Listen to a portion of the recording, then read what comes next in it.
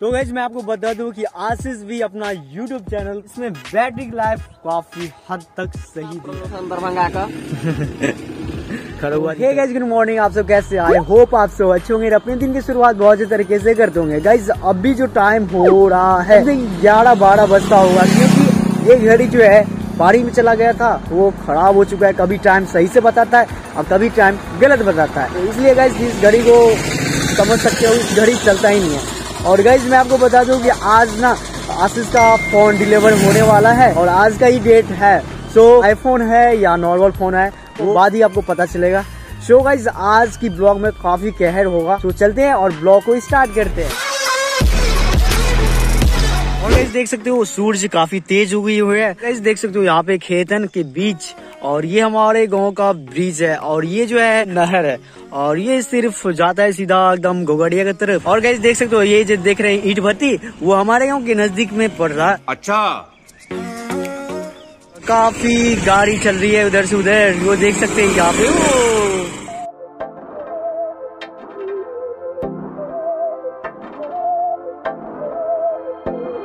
बहकी सभी जुबा है हम हैं हज़ारों में। यदि आप नेचर लवर हो तो इस रोड पे यदि आप आएँगे तो काफ़ी आपको मज़ा आएगा। मैं दिखाता हूँ आपको कैसा लगता है बताना लास्ट में कमेंट करके। तब तक देखो कितना रोड है। वाह कितना दूर तक फैला हुआ वर्सेज खड़ा हुआ। इसमें दरभंगा की हालत बहुत खराब। सूरज के जीतत दरभंगा दरभंगा या खड़ा हुआ? खड़ा हुआ। ना? खड़ा खराब प्रदर्शन दरभंगा का। खड़ा हुआ जीतत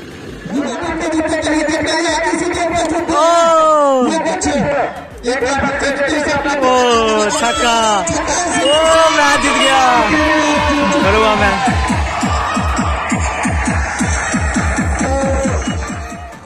ये लो मेरा आईफोन आईफोन है? हाँ। आईफोन कब खरीदा बे? बताइए कौन सा फ़ोन है। अच्छा रिव्यू करने के लिए बोल रहा है। हाँ।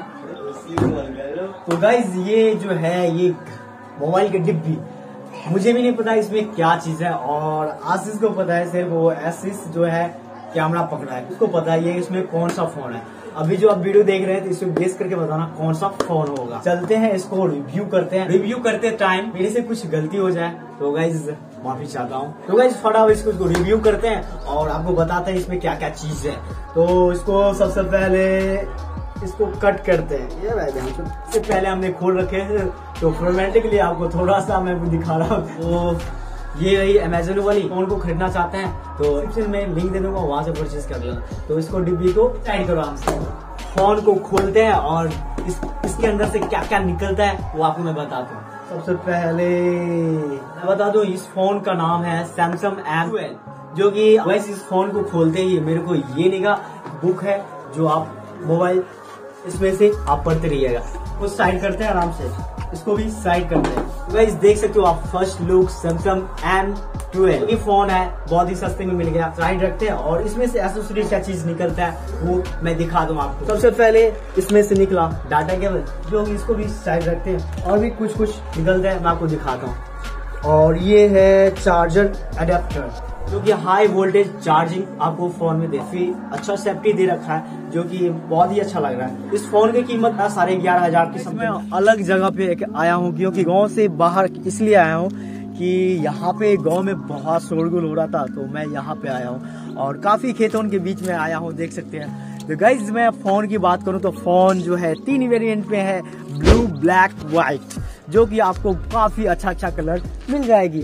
वैसे मैं आपको इंटीरियर की बात करूँ तो this is a first black look क्योंकि आप बैग की डिज़ाइनिंग काफ़ी अच्छी दे रखे है। डिज़ाइनिंग की बात करूँ तो काफ़ी फिनिशिंग दे रखा है। और बात आती है कि फिनिशिंग की तो फिनिशिंग काफ़ी मेरे हद तक मैं सोच रहा हूँ कि ये काफ़ी अच्छा फिनिशिंग दे रखा है। साइड में फिंगरप्रिंट दे रखा है और वैल्यू बटन इस साइड है सिम स्लॉट जो कि आपको 4G वेरिएंट और 3G वेरिएंट में दे रखा है। कैमरे की बात करो तो 48 मेगापिक्सल वाइड कैमरा है, चार कैमरे लेंस है। जिसमें 48 मेगापिक्सल वाइड कैमरा है और 2 megapixel macro lens 2 megapixel 123 degree wide camera दे रखा है। काफ़ी अच्छा पिक्चर क्वालिटी देता है। फ्रंट में आपको सेल्फी की बात करूँ तो सेल्फी काफ़ी अच्छा दे रखा है, क्योंकि एट मेगा पिक्सल सेल्फी मतलब फ्रंट कैमरा दे रखा है। और गाइज़ में फ़ोन में सबसे लाजवाब मेरे को फ़ोन लगा कि इसमें बैटरी लाइफ काफ़ी हद तक सही दे रखा है। 6000 हज़ार एम बैटरी दे रखा है।